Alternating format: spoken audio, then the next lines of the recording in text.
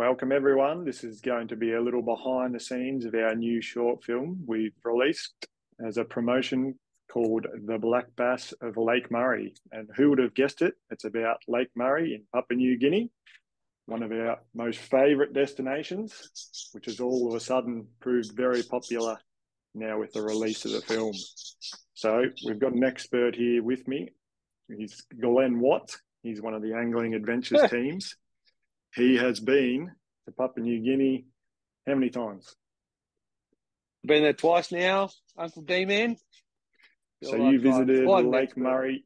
You visited Lake Murray to film this little promo vid, and then you've done a subsequent trip as doing a big maintenance run with all the boys, fixing up boats and all the rest of it. Yeah, that's right. Absolutely, both both super valuable trips. Um, you know, we, we, we fished purely as clients on the first trip in September in 2022, and then I've been back since in uh, in February of 2023 to make sure that we're up and going and ready to go for the 2023 season as far as our maintenance and and boat operations go. So yeah, really looking forward to kicking the season off. Awesome. So the idea of this is we're going to watch this little promo film that you've uh, videoed with our little brother Nick on your first trip. And as we go through, I'm about to go to Lake Murray in exactly one month from today. So I'm going to ask you all the stupid questions that everyone wants to know about all the little intricate details and really pick your brains about each aspect of uh, what a trip to Lake Murray involves. So, are you ready to get all the annoying questions? I'm ready for that. Uh, my guy, my um, my day job as a fishing guide entails 100% of answering the same questions all the time. So I'm ready for it, and I know that you, being quite European these days, living in Scotland, ye oldie Scotland, um, aren't as in touch with the uh, the tropical fishing of the southern hemisphere as you perhaps once were. So let's have at it. no worries. I'm happy to admit I'm an absolute Gumby, and instead of hassling you every couple of days with uh, WhatsApp messages asking what line I need and what hooks I need, how about we just do it here? So let's get it going. yeah, we'll get it going. I definitely wouldn't call you a Gumby, considering you were a fishing guide for a couple of years in some of the best big barra destinations in Australia but you haven't been to Papua New Guinea yet, which is a whole other kettle of fish. So let's dive into that. We have a lower lake, middle lake, and an upper lake. We find in the lake. Right, he's just uh, running through the absolute massive scale of uh, Lake Murray. I've got a little note here saying that the biggest lake in Australia, Lake Mulwala, is 439 kilometres squared. That's pretty big. Lake Murray is 647 kilometers squared. Just what's it like when you fly in? What are you up against? what do you see before you?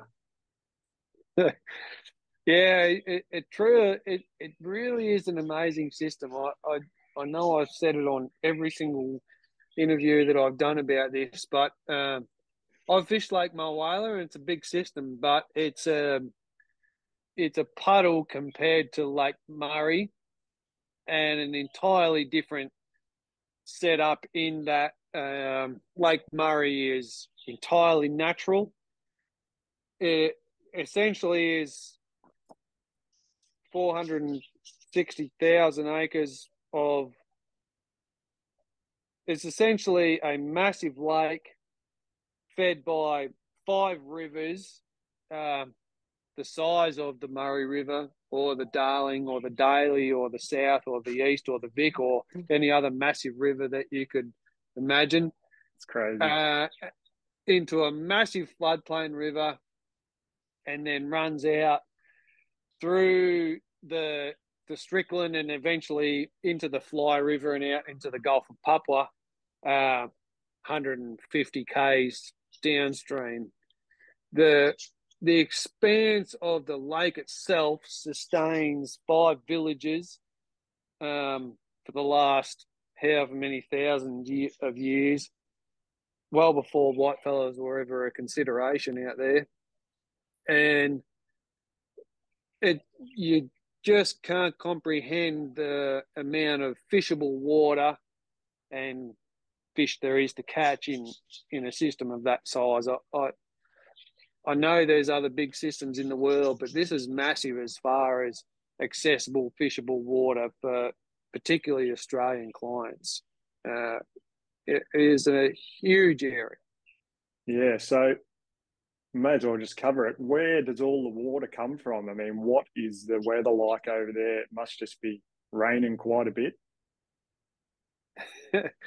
yeah, uh, Robert Bates, who who owns Trans Niugini Tours and, and Lake Murray Lodge, says that it rains all the time in New Guinea, just sometimes more than others, and and he and he's dead right, and it, it like it, it, it's reflective of the the wet season, dry season stuff we have up here in Darwin, where I live, um, but perhaps extended and accentuated to a larger degree. It starts earlier, finishes later, and there's more of it, right? So, uh, you know, even in July in Lake Murray or or anywhere through Papua New Guinea or, or that Western Province, Southern Highlands, you're going to get rain at least once a week. It, it, it's a wet tropical yeah, place, yeah. Um, totally inaccessible from everything else. And um, I mean, the nature and the fishing and the and the whole landscape in, entirely revolves around around the rain. And so it, it rains most from say end of end of October, say into November, through until uh, end of March, and then it starts to tailor off. I mean, I've been in touch with the lodge at Lake Murray really recently, and uh, and Lake Murray is um, the water level is falling as of say early April, um, but you know you still get rain throughout the year. So one thing you yeah. need to bring when you come to fish Lake Murray is a raincoat for sure. Yeah, obviously. Um, what time of year was this filmed? You can see uh, the blokes with the dugout canoes here. The water's right up to the grass line. Yeah, so uh, we were there in that was middle of September, 2022, to yeah. uh, when we film film this um, promotional film, and uh, that's when the water is, I guess, on the way up on a when it's when it's looking like it's going to be a wet year. You know, you get the yeah, early okay. build up storms and high in the catchment, and and it starts to bring the lake up. The fishing was still really good. When I was there in February, uh, when the lake was perhaps two meters higher than when it was when I was there in September, uh, the bass fishing was quite difficult. In fact, we only caught one bass uh, over a couple of sessions. Um, plenty of barra to be caught. Um, it's it's funny when you have a destination where an 80 centimeter barra is an, is sort of a, an annoying or a or a really sideshow bycatch, um, but plenty of barra to be caught when the water's high. But the bass really really happens during that season from end of March through till the end of November or um, you know, thereabouts. Yeah, so that's when the uh, the trips kick off from the lodge. So, all right, we better get cracking. We're only uh, 19 seconds into this, so. have a black bass, uh, world's freshwater strongest fish. In catching them, they, they fight back. We've seen uh, black bass um, breaking uh, their fishing rods, rod tips, and um, Right, so one of the guys there is just going on about a few of the different species that can be caught. Um, I'll just see if we can get up on screen something that Australian fishermen aren't going to be familiar with at all. The snakehead. Now these things, apparently they're an invasive species there, but is it right that you see them like topping like uh, tarpon or something as you're driving around the lake? Yeah, that's right. So snakehead are an introduced species uh, in the southern highlands of New Guinea, and they have become a major food source for the big barra and and black bass. Uh, they tend not to be something that we target um, predominantly when we're doing our lure fishing, although an amazing fly casting and, and light tackle surface um, target species. But yeah, we, we definitely see a lot of them uh, in, in, the grassy edges, um, feeding on whatever it might be. You know, um, same as what we have up here in the territory. You get a lot of a lot of lizards running around on the surface, and, and frogs, of course, and then of course plenty of big insects. And and those particular snakehead, they're they're working hard throughout the day. Uh, very visual predator um, along the edges and in amongst the lilies, getting a feed. And um, particularly once we get to Bensbach, and, and also Lake Murray um, to a lesser extent. They they're they themselves are actually a, a, forage species as well, which for a fifty centimeter fish sort of seems a bit unrealistic, but that's the way it is over in New Guinea.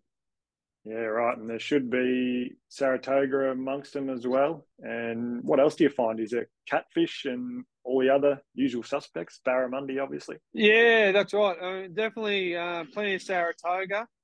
Uh, uh, uh, you'll find Saratoga right throughout the whole of um, of New Guinea. Um, plenty of big ones. They actually sell Saratoga at the market over there for people to eat, and and they're considered a a good solid feed from the locals, um, as well as your your catfish, um, there's snake neck tortoise, and and a lot of other um, species that are familiar with a with a northern environment. The one that we don't have, uh, say here in Darwin, compared to New Guinea, is the tilapia. Uh, I know they're um, causing a bit of trouble over there in Queensland these days, but yeah, tilapia is another one, and and again, an introduced species um, by the government so that the local blokes have got something that they can go and um, get a quick feed of, which they do. Um, and we can we can use that knowledge and, and mimic the the the fish um, to try and get those big predatory species to hit a lure as well, a lure or a fly. Um, you know, in in the presence of a tilapia or a snakehead or a saratoga. Yeah, yeah, right. Well, when I'm there in a month, I'm it's top of my list to catch one of the uh, the snakehead. it's a long way to go to catch a snakehead, but I think it'd be pretty cool. Oh, for sure, and and I mean they eat they they the the simplest lure in the entire world to throw is a spinner bait. Throw it out there in the weeds like we do here for the Saratoga in the territory throw it out there and wind it back. And a snakehead of Saratoga will eat it as well. A bass will eat it as well. Um, you you almost certainly will not ever catch a barramundi on a spinner bait, but the rest of the the big three over there will definitely eat them. So great way to go for sure. Yeah, right. Well, just uh, another quick question on tackle, since it's a good uh, example right here with little Nicholas, the little brother, has forgotten to change his hooks on his lures. You can see the front one there has been upgraded to a nice owner by the looks of it. And the back two trebles, which are probably, I wouldn't even change them for Barramundi in Australia. They just look like the standard Scorpion trebles to me, but didn't last against the bass. Yeah, that's right. Actually, when you if you look closely, there's actually three different hooks on that lure, and, and that that's a that's a 125 Scorpion um, RMG Scorpion, which is one of the toughest lures, you know, um, in the world. Um, I mean, if it stands up to, uh, I mean, you and you and me have both fished them for fifty pound mackerel in in, uh, in the Kimberley and um, had other lures bitten in half when these things stand up. But the front hook on that one is actually a BKK Raptor hook, yeah. um, which is super tough. It's a six X hook. The middle one is the standard hook, even though it's a it's a it's a three X Mustad or something similar, but but a, a, strong hook and and you'd fish it up here for barra um, every day of the week straight out of the box. And I think the back hook had been upgraded as well, and, and it's a, a it's a bit hard for me to recall, but that might be an owner ST66, and that's the other real hot or, or the must have hook when you're upgrading tackle um, for the bass. But yeah, I mean, we were there. That was our first trip, and um, I mean, those hooks, those good hooks, they they cost a bit of money, so we weren't upgrading every single one, and there you go. There's the result. yeah, well, that's it. I mean, you you go a long way to get a bent hook. Um, worth spending the extra couple of bucks to to stick on a, a 6x, even if it's a bit painful when you lose it in the snag. But hey, there you go. Oh, for sure. And even if you if you only want to buy a couple of packets of them, um, I mean, we've got some good associations with some amazing hook guys these days, uh, and just change them out on your lures as you as you swap your lures. You're not going to change lures too much, um, and those hooks they're less than a dollar each, but they still it still hurts when you buy them, and, and it hurts even more when you lose them. But it hurts even more when you regret not upgrading yeah. them uh, because you just had a 40 pounder swim off halfway back to the boat for sure. So, yeah, yeah. you know, one or two dollars at the at the end of it, um, at the end of the trip, you know, it, it should be part of uh, of your budgeting. That's right. I mean, how much would you pay not to lose that fish? Hundred bucks, two hundred bucks. Yeah, exactly. You know, on and on you go. An, There's an plenty extra, of hooks there. An extra dollar. yeah, an extra dollar. That's right. Yeah. The lures smashing them up. They're angry. They're angry.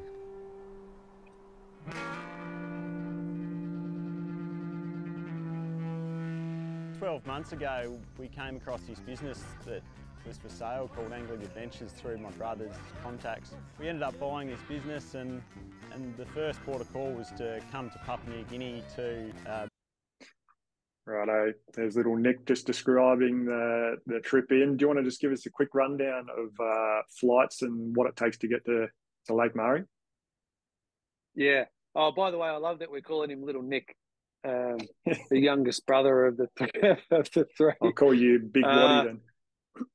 Yeah, big big fellow, like my kids call me, just like off Bluey.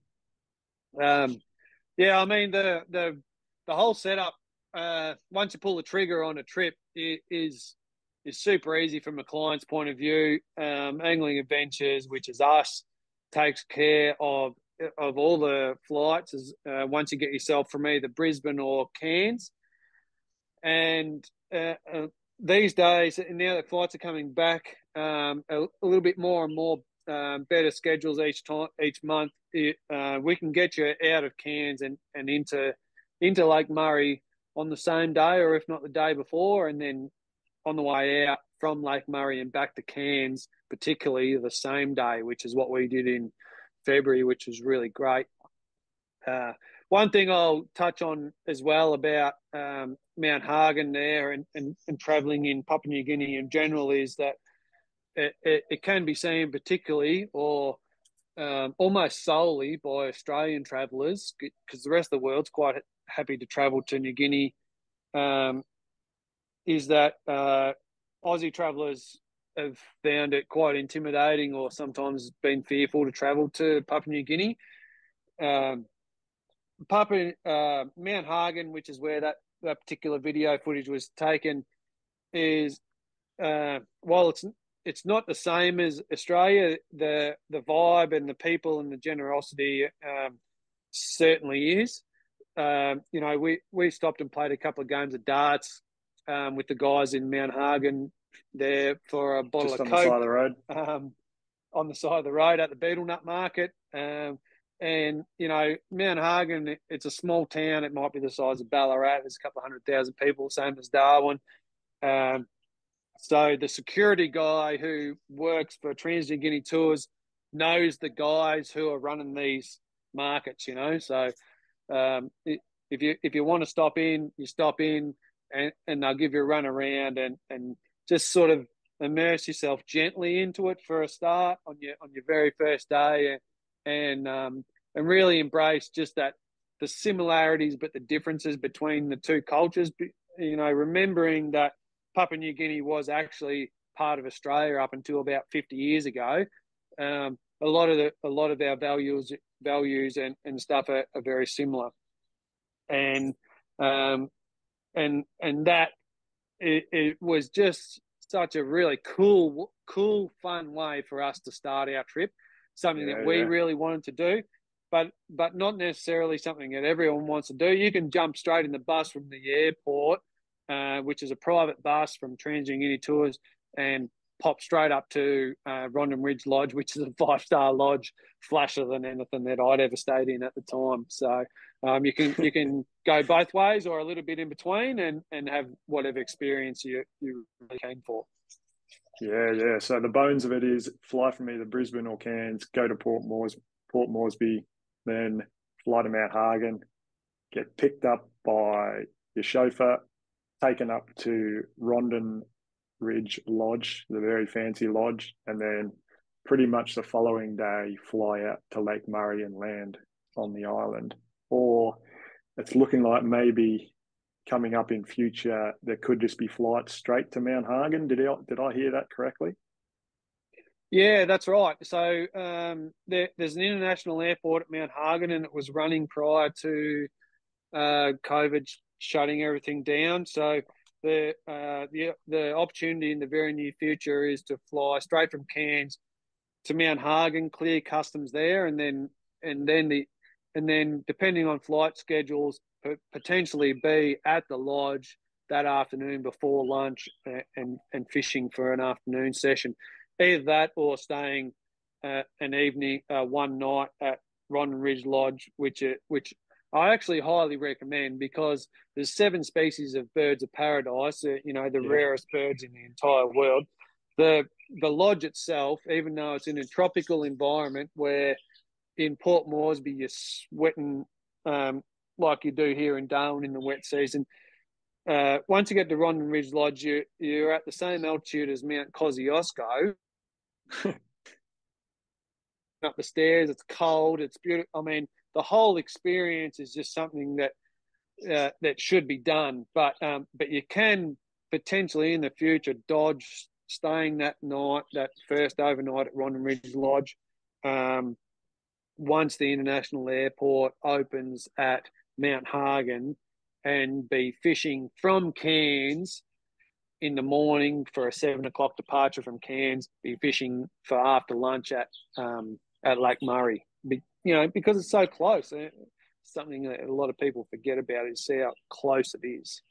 Yeah, yeah, unreal, in a totally different world. And uh, I'll just I'll just flag there is no rod tubes looking like they're getting put on the plane. So we'll just keep that in mind for later, shall we? Meet the lodge owner, and I don't want anyone yeah, we can talk about that later.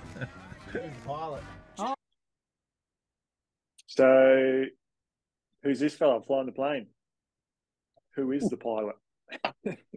this, uh, who is the pilot? That's Robert Bates or Bob, um, who you instantly connect with as your your third grandpa.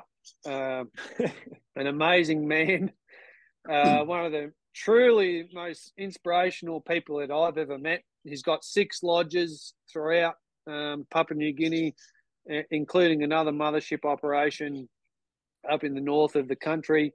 Uh, he's been there for over 50 years. Um, he allowed it so I'm sure that they would elect him prime minister, but he's he's happy just doing his own thing.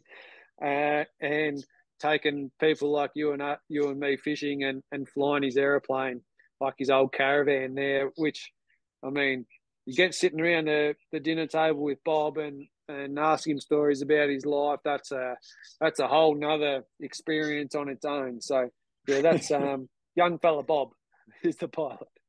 Young fella Bob who built the lodge. Oh, me Bob, young fella Bob. Very excited. You're ner- not nervous? Yeah, well, you said I have to land it, didn't you? Oh, yeah, yeah. It's only my first time.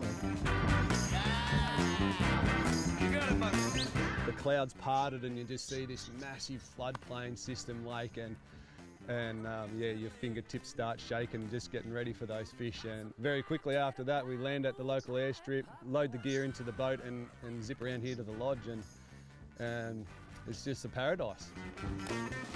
You silly savage. This is Lake Murray Lodge, Western Province, PNG. Only three flights, two days. Here we are. So there you are, landed on the island. Looks like there's a fair few buildings and stuff around, but you can't get there by road. So how on earth do you build a big fishing lodge full of cabins and everything in the middle of nowhere with no roads? Oh, another extraordinary story um, attributed to attributed to Bob. I mean, uh, I mean, Nick uh, talks about the the effort to get there uh, in that clip, uh, and certainly at the moment from Cairns, it's six flights um, there and back uh, by the time you finish your trip. Um, you know, as Mount Hagen opens up, it, it'll probably be knocked back to four, and we're looking at 2025 to um, change the schedule entirely and fly charter, um, you know, charter planes out of Darwin or Cairns um, to be one direct flight straight to the lodge. So it's something to keep in mind for future. But super uh, exciting for all of us.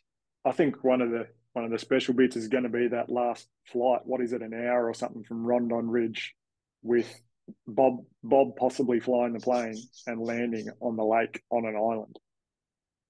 Oh yeah, I mean that it's something I've done it a couple of times now, and, in fact, earlier in this year we, we did a bit of a bit of a lap around, and we went to Bensbach before we went to Lake Murray, so I got to see a few other remote airstrips as well. But uh, to fly a small plane, a, a, a, caravan aeroplane, which a, a lot of FIFO guys um, and remote airstrip guys would be familiar with, they carry a lot of weight and, and a lot of people um, for a small plane, and you've got to fly that sucker straight up out out of this valley um, over over a massive mountain range, and then and then down through more mountains, and then you sort of you, you're still high, but you you sort of part the clouds and and you're out onto the floodplains. Um, the experience to do it with the guy that built the lodge and owns the aeroplane, it brings a tear to my eye. How how much that means actually, because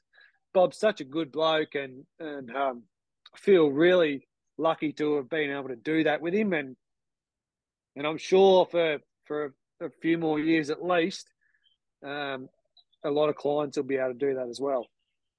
Yeah, so just give us a potted uh, story of how he got the lodge up there.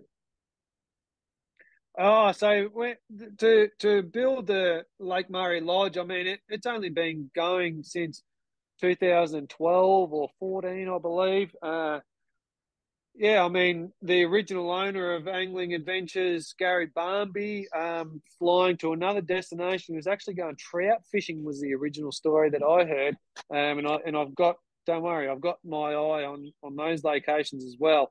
Um, but flew over Lake Murray and um, and the pilot, which I who I assume was Bob, said, "Oh, there's, there's plenty of ba- um, barra down there, and and um, and the Papua New Guinea black bass as well." And and and a couple of years later, they did a recon trip, and then a couple of years after that, they they started building the the lodge, and and they built the lodge by bringing a um, a barge up the Fly River, hundreds of kilometres up into Lake uh, Murray.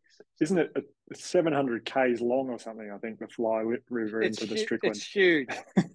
yeah, the Fly, the Strickland, and into Lake Murray, and then uh, landed on this piece of land which uh, was was government land and and all sorted to build a lodge on there, um, with half a dozen shipping containers filled with every single thing to build a, the lodge that that you and and I stay in, um, from the the you know like the tap washers down to the tiles in the shower, uh, and the and the and the fans and the light switches, in in one trip.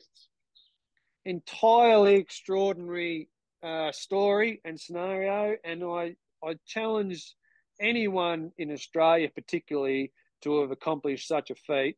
Um, Bob's done it half a dozen times in New Guinea, um, simply because he because he's a brilliant man and because he can. And um, so they built the lodge, and then uh, um, so from from the initial trip, um, two years after, uh, there was the first groups going in there, and, and that was about that was about nine years ago now, and uh, and they had some really good times up until COVID, and then you know, of course, we're just kicking it back off again now. So there's some big things ahead for Lake Murray Lodge. It's um, the lodge itself is spectacular. It's won um, architectural awards. It, it's it's right in amongst some of the most um, uninhabited wilderness in the world, and um, and I would love to spend ten months of the year there if I could, which I might at some stage. I'm just going to flick through a couple of the pictures. There's you guys sitting on the the veranda of, I think it's the main building, right on the edge. yeah, of the that's water. right. That's the main Drink- building there, and all the all the timbers source local sources and and everything. If you have a close look at the the ceiling there in the lodge there, it's all um, sort of weave thatched um, pandanus leaf, and it, it's all done done by a local guy. And and Bob and, and the guys at the lodge will tell you when you look when you walk into the main complex, the whole pe- the whole ceiling of the floor, which is it's 10 meters by 20 meters at least wide was done in one piece lifted up and that's that becomes Wow. a ceiling so just some amazing amazing efforts goes in into building this lodge and and it's all and it's all it's all just to get people fishing and sharing culture um, and and of, of course the birding and and wildlife and stuff that's associated with the Tonda um, National Park down there in the Western Province as well. But yeah, it's a spectacular place. So this is the lodge as well, yeah. Just a quick look at the inside of it. Polished That's the lodge looking looking out towards the lake. That's right, yeah. And you've got the bar there on the left where Jerome will be sitting and, and waiting for you to go and grab another SP lager.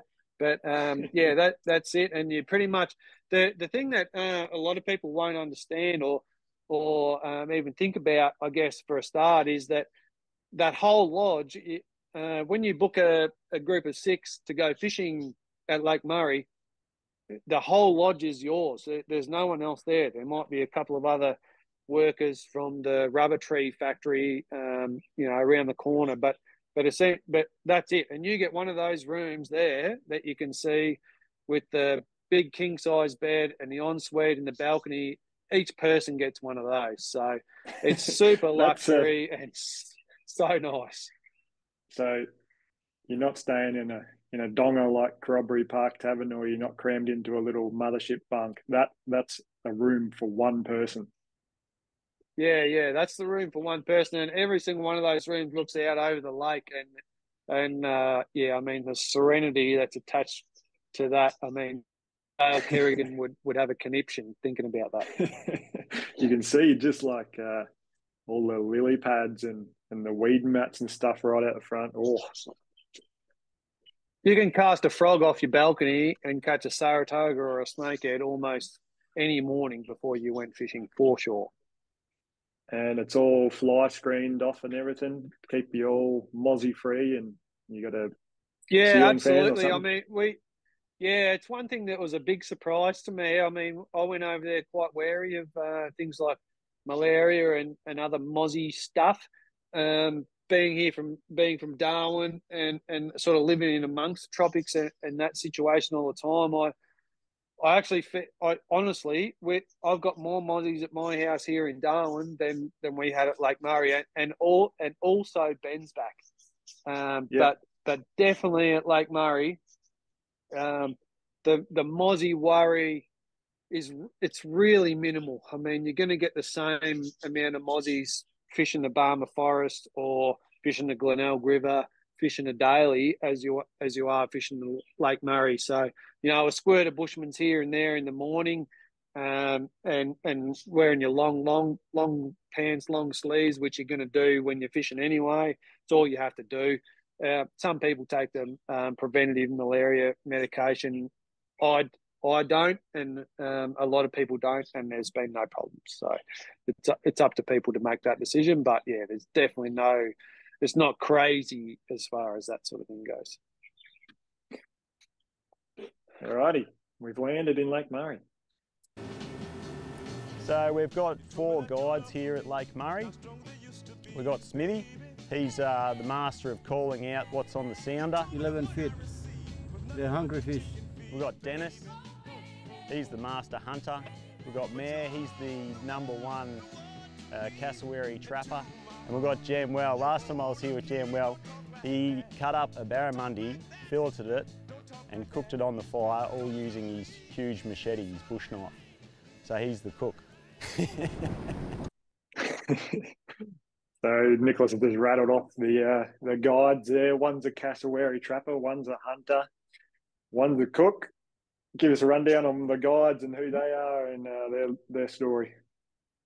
Yeah, it, they're they're all amazing fellas, and um, they're, they're all standouts in their own communities. There's five villages that um, surround Lake Murray Lodge, and these guys all come from various different villages um, and, and represent different areas around the lodge, uh, which is part of the agreement we have when we go fishing. And um, Smithy's probably the he, he's the elder statesman of the of the group, and his his number one hobby is um, is, is making friends with with people uh, with international tourists with with fishermen, and he re- he just relishes the connection, and uh, and and really considers anyone who he um, takes fishing with as brother or sister. It's so wholesome and, and, and amazing feeling that you get when you go fishing with Smith, um, as well as I, I would, I mean, I tried to describe him uh, to other people, but um, he, he's the Rex Hunt of um, of of of footy commentary of, of the sounder. Um, you know, the, the, you be the the thing about um, bass fishing, uh, particularly for trolling, uh, different if you're casting and stuff, of course, but uh, quite often we'll troll over an area and, and then go back and cast at it. But uh, you can see them; they they stick out like dog nuts on the because they're big and they're round, and and you can see them, and, Yeah. and they're generally sitting down a bit deeper.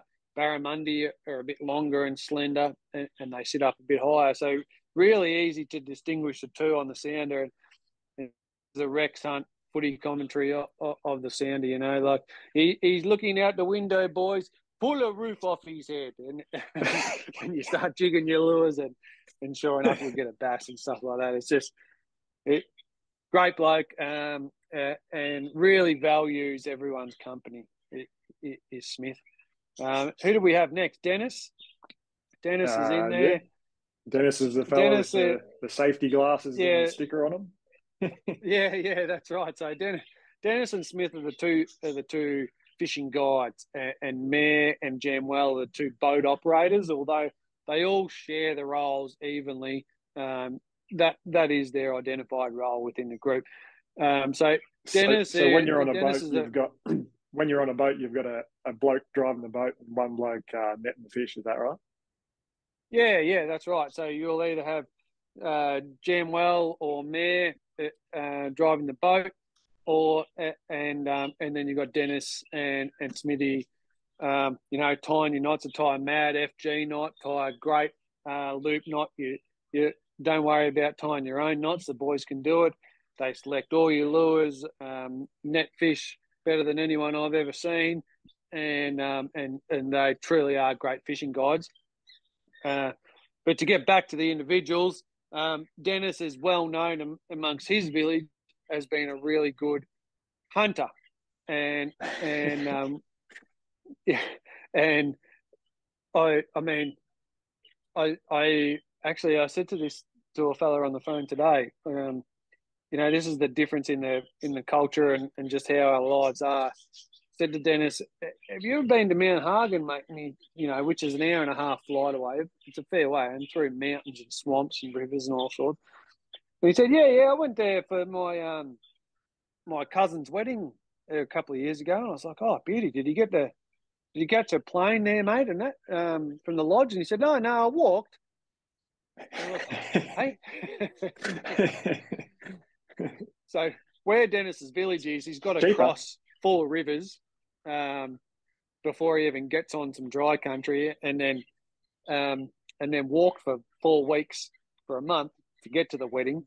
Um, wow. with a with a bush knife, and they and they call it uh, with a gas lighter, um, with a Bic lighter, and pretty well that's all he took, and um, and stopping in at villages and various people he knew on the way, and went to the wedding for ten days, great party, and then just walked home, and and and to me, I just like, wow, you he just made me feel so minuscule as a man.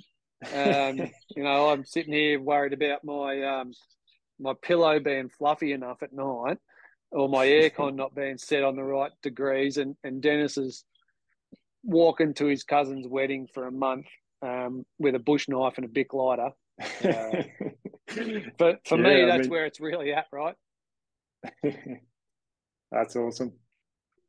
Um, yeah. So and then okay. Uh, so that's the two, I guess, fishing guides, and then uh, so Jam Well, um, great boat boat operator. Oh, um, and Jam Well, one of his great stories that he told us in in September in 2022 was that it was his father, um, who still it was his birthday when we were there in September, which is right around Independence Day, which is a is a really proud celebration for these guys. Uh, and um, Well's father was in he, he was in the first group of um, guys in in their whole village, their whole province to ever see a white fella, and it was during World War Two when the Aussie guys they'd um, sort of rocked up from Darwin as the Japanese soldiers pushed set, south through New Guinea, uh, and the Aussie guys said, you know, hey boys, um, there, there's some bad guys coming, well, let's team up, type thing, and and you know the rest is history. Um, Wow. but yeah, Jan Wells' father, who's still alive now, um, was was the first people in in their village in their whole province to to meet white fellas to meet Aussies, and and here I go well and up again. Like it just it goes to show the the history and the connection that we all have, and it's it truly is awesome. It's Um, amazing as that far it's as so, so close, and yet it could be just another universe. Oh, one hundred percent. You know, like they, these guys, uh, um, they have a uniform that they wear to work, but day to day they live off the land. What what they eat comes from the forest and the lake, and, and their and their and their gardens which they grow, which is um, you know bananas and yams and other, other um, root vegetables which they grow along the. They they virtually have. Um, there's no influence from the outside world, uh, apart from having a mobile phone to be able to know when you've got to go to work. Uh, but they don't have power at their houses. Um, it, it's a really wholesome, clean, and just honest life. And and I mean, I I just I just hope and and I'm sure that it will stay that way for a long time. Um, okay, moving on from Jamwell, we've got Mayor, who's he, he's like the owner of the guide group. Um, we call him we, we call him Fif- Fifty Cent. He, he's got the big guns and, he, and he's a handsome man and and he is he's well known in his in his particular village as uh, as the number one cassowary trapper. And uh, it's it's an interesting concept from like here in Darwin we don't have cassowaries of course in Cairns and tropical Queensland you do and and they're protected and they're this and that. Um, but but in uh, in the Western Province of New Guinea they are the best um, uh, table fare for these local guys because because they don't have a, a fridge and, and power. Uh, it's the meat that lasts the longest when you hang it out of a tree. Like they've got pigs, Yeah. they've got deer, they've got cattle, they've got fish, they've got turtles, they've got all sorts. But the cassowary is the go because you can hang it for a, from a tree for two weeks and it doesn't go bad. So so Nothing and, and, and they're a different type of ca- they're a different they're they're a different type of cassowary. They're they're quite small, so they might only come up to your waist. Um, whereas the cassowaries who get in northern Queensland come up to your shoulders and and quite dangerous birds. But yeah, the the the trapping and the hunting are two different things too. Um, you know, Dennis being a great hunter is is bow and arrow and spear, and Yeah. Mayor being a great trapper is um is with snares and traps. So Yeah, um, like super interesting stuff to dig into when you're fishing with them, but also, you know, a big part of going to Lake Murray if you're not an angler is the um, tours as well, and and these are all the things that you dive right into when you go and spend a few days in the villages with these guys and and their families, and I mean, I just uh, they spend three months building a dugout canoe, um, and and then just roll it into the lake, and, and that's their daily driver, and it, I just it, it blows me away, and I and I just is- want to spend more time there, just learning about. it. Yeah, yeah. I mean, it's it's everything you you wanted to do from uh, from Bush Tucker Man or or Malcolm Douglas. I mean, being able to just yarn to Oh. these blokes who who probably born on the lake, and you can just yarn to them while you're trolling down the river. definitely definitely born on the lake. You know we go we go back to the lodge of an evening after they drop us off to a um to a four course meal uh, prepared by a, a, a chef uh, of great renown. And and these guys paddle their canoes back back to their villages with with no power and and cook up a feed themselves at home. So um absolute salt of the earth and um cannot speak more highly of the of the guides and the staff at the lodge. So Yeah, awesome. So just um, just being while, a gentle and, and legendary people. just while we're on that, uh, a couple of bits left out about the lodge. So you've got someone doing all your cooking. You've got cold beer. It seems like you got internet out there. You probably don't have uh, a flat screen telly to watch the footy on. What and you get your laundry done every day, something like that. Yeah, yeah, you're pretty well spot on there. So you definitely have um you, when you land in New Guinea, Telstra, if you run with Telstra, will send you a message saying that you've been um, hooked up to their network and you can uh, you can do a certain amount of gigs per day or whatever it is for ten bucks and stuff. So you've definitely got uh, full comms um, both at Lake Murray and, and Bensbach. Um, yeah, there's def- there's definitely no television there, but um, yeah, as far as laundry and stuff goes, I mean, as far as the fishing trip goes, you- you're fishing for five and a half days. Take two, maybe three sets of fishing clothes, um, and and either stomp on them in the shower, which you've got in your ensuite bedroom looking out over the lake, um, and hang them up to dry under the fan at night. Or um, yeah, there's a laundry service each day as well. So um, I mean, you can take you could you could take two sets and, and rotate through for the week if you really want to travel light and Yeah. um, fill More that thirty kilos of luggage up for fishing lures and stuff. Yeah, right. Yeah. So what is it? Twenty or th- uh, twenty kilos, isn't it? You can take on the light plane of just fishing gear and clothes and everything, and you can't take a big box of frozen fish home with you, obviously, on the way out. Yeah, that's right. Yeah, I mean, you don't take any, we definitely don't take anything out. Um, you you can take the the available weight in um, per person, and and re- remembering that you are going on. You um, when you fly from Cairns at the moment, you're going international, then domestic, then charter flight. Um, so you want to be pretty mobile with your luggage and, and keep it pretty small. And and look, you definitely don't need anything to keep you warm. It, it's you know, it's where I am. It's Darwin, but it's like that every day of the year. Um, we they just don't get cold weather there, so you can cut back on the clothes and increase on the fishing gear.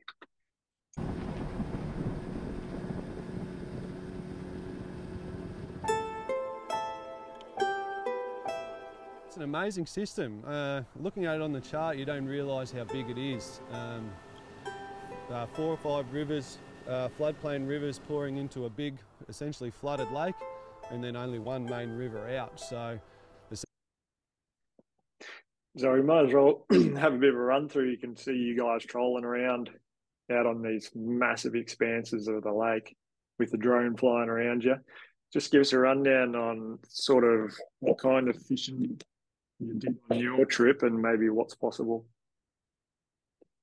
Yeah, so we um on our trip in September, we we really just um we were really keen to just do what they'd been doing in the last few years, uh, which had evolved um, in the nine year or eight, say eight years since the lodge had started um, to pretty much being um, mainly focused on trolling, and um, it's it's a super productive way to catch the bass there at Lake Murray. I mean, if you if you troll all day, you're going to catch probably probably, in, a boat between three people, you're probably going to catch thirty or forty bass, um, or or thirty or forty fish. 10, 10 of them are going to be barra, twenty of them are going to be um, going to be bass. But uh, I was really keen to um, sort of suss it out from the um, angle of of lure casting um, and, and, fly casting, and, and get it back to, I guess, the, what what was essentially the roots of the trip when you know um, Pip Clement, one of Australia's greatest sport fishermen and, and, and particularly remote destination pioneers, um, when when Pip went there to really pioneer the the lake, he was the first guy, uh, first white fella to go in there to sport fish it. Uh, caught fish on fly, caught fish on surface, caught most of his fish casting, and and, and the prospecting that he did for for um, I guess fishing hotspots and, and locations for the guides to fish was done with um, with uh, trolled hard body lures with the hooks taken off them.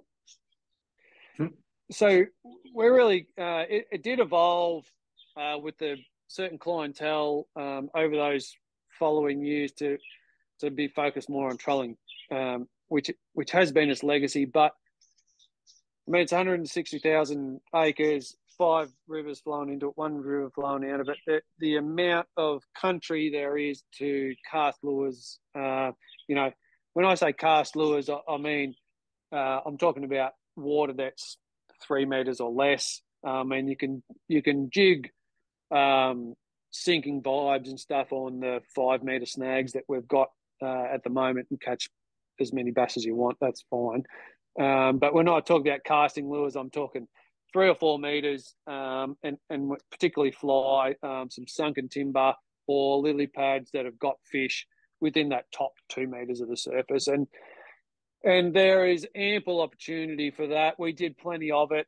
Um, mostly the stuff you'll see later on the video is me get towed up into snags because I uh, number one wasn't ready for it, and number two, we perhaps weren't doing or, or, the guide boats weren't set up um, well enough for it. We, why don't we? We'll talk about that later on. But as far as the fishing goes, uh, it, initially the destination was flagged as um, as a casting destination with both fly and lure.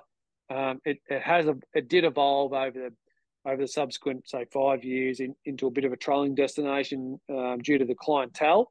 Uh, but we're going to take it where we we are, and we already have um, started switching back to a, truly a mixed fishery, uh, uh, which can be catered to each group or each angler's preference of, of how they like to fish. Yeah, so I've got picture of Glenn Macon here on the screen. He's going to be on my trip in a month, and he's got a whopping bass with the boys on a giant donga surface lure. I mean, yeah. I had a, had a few chats to him uh, on Messenger, and he reckons he's dead keen to just throw surface lures, and I'm definitely going to spend at least a day or two doing the same. But you can see like all the various pictures and the footage. There's just no shortage of snags and lily pads and these little grassy banks where uh, Glenn's recommended the surface lures. I mean, there's just got to be unlimited amount of country. Yeah, that's right. I mean, that picture there, it, it it it shows about how um, Glenn fishes and it and it shows about um, the fishery as well. sort of two separate things, you know. Like um, Glenn's, I, have taken Glenn fishing a, a few times, and um, he, he's always. I'm like, oh, let's throw fly around here, and he's like, nah, let's throw the best thing that's going to catch the best fish. Um, so if he if he's throwing that lure there, that's the famous donga lure. It's 230 mil long. It's about the size of a Coke bottle. um, if, if he's throwing that, uh, that's the best lure to throw at the time, you know. And, and you know, and you and you look at the. I mean, I've spoken to him about this fish a lot of times. It, there's so many creeks that flow into the lake and and, and into the various rivers, um, which have got those beautiful grassy or reeded banks there you can do a huge cast with a big surface lure and just tick, tick, tick, tick, slowly walk it up the bank and and just wait for that that bass there. That'd be that's a high eighties bass, maybe nineties. I haven't actually be um, got a High number. of thirty that. pounds, isn't it? Yeah, it's definitely that's thirty-five plus pounds fish, uh, and, and and that's the upper, that's sort of the upper limit of, of the fish of that you're that you're looking to encounter. And I mean, fair income like the fifty centimeter ones pull your arms off, but uh, there, there's been one fish over a meter caught in Lake Murray. Uh, it was 102 Wow. centimeters caught by a Japanese guy um, up at a, a Oh, spot yeah, which I know quite well. Uh, and we've got some more info on there. And if anyone wants to um, hit us up, I'll tell you a really cool story about that particular fish. Um, but 102 centimeters of black bass is pretty much like pulling in a um, you know a, a 200 series Land Cruiser with a teenager doing circle work in it. It, it, it is off its head, and um, um, I mean the the the bigger fish that we caught on our trip, they're like the 82, 85s, and you get them to the net, and you're like, how the hell did you do that? Um, so, it- as far as fish biting strength goes, it entirely without question um, as far as size to pull ratio. But to get back to the what we're talking about is the techniques.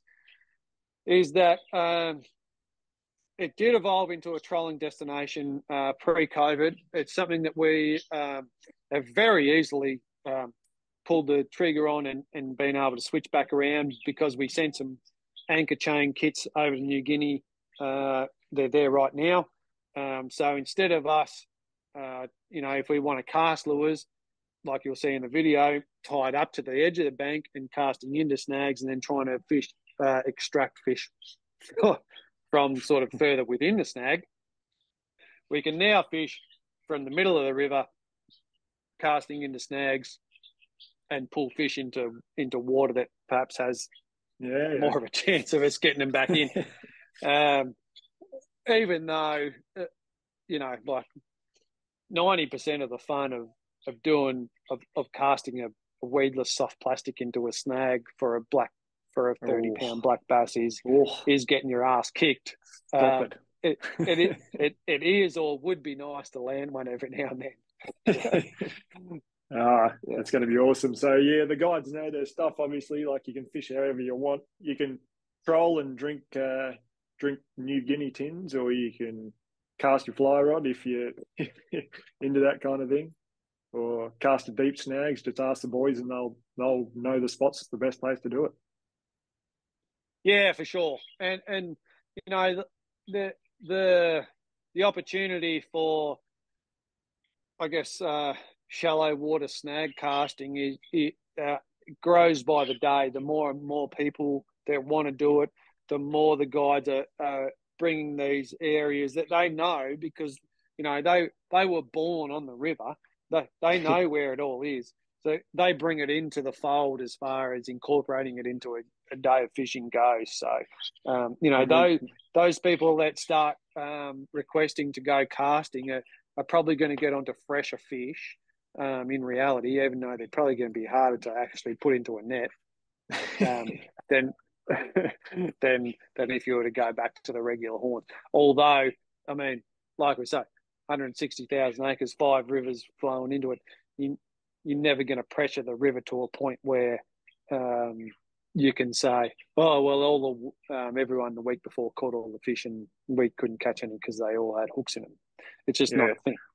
It's not like uh, it's not like going down shady to try and catch your meatery down there. You go out to Lake Murray, you're not going to see other blokes in boats with uh, the dubstep pounding through the stereo, taking all your good spots.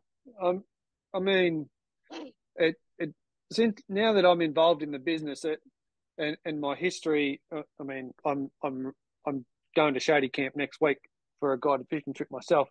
Um, half of Darwin's going to be there. There'll be hundred boats there every day, and my clients are going to have a great time at, at Shady Camp because the fishing is really great. But the fishing charter aspect of going to Lake Murray Lodge is cheaper than coming to fish with me here in Darwin for five days for Barra with half a Darwin, and you Yeah. will be the only boats in that entire system uh, fishing, um, sport fishing. You know, the locals are there trying to catch a feed. They do it with a hand line and a small gill net to catch a tilapia or a um, Saratoga. You got like the the. It's uh, you cannot comprehend the the value The of ulti- the of ultimate fishery. fishery. with no one around. I think you said to me. There's no one there. uh, Yeah. I think when you got back, I said, "So go on. What's it like?" And you said, "Once you fish it, you're never gonna want to fish anywhere else." Mm. I shouldn't say that because I've I've got to keep taking people fishing here in Darwin, which is also great fishing. but I mean, New Guinea, like I say, there's no roads that go there. The only way you can get to Lake Murray to fish as a recreational angler is through Lake Murray Lodge, and there's twelve trips a year. Yeah, And yeah. I I mean, And every and fish is thrown back.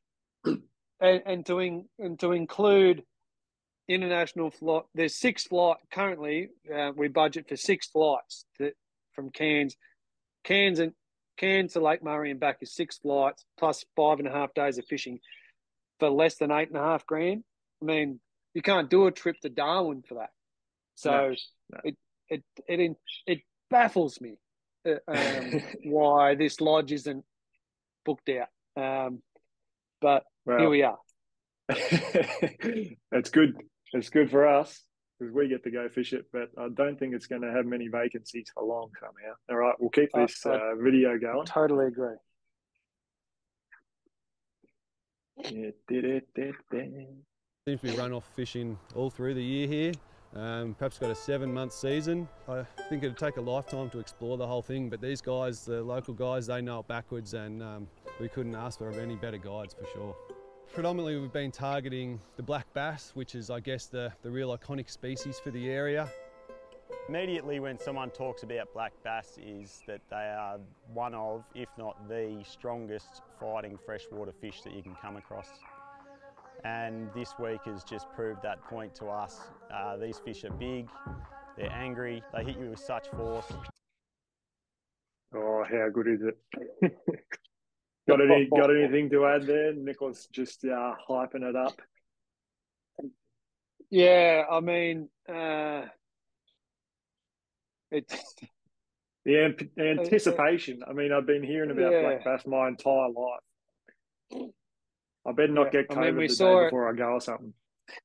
you you and I were probably sitting on the beanbag at home in Western Victoria watching um, when when um, Paul Worsteling went there and, and when Rex went to Bensbach and and now we've we've got the ability to be there ourselves and um, it just, you know what? Um, it, it, it just continuously blows me away. One thing I will say is that if you look at that picture right there with that, um, that's a Doctor Evil uh, classic lures, Doctor Evil, and we uh, changed the hooks out to big singles.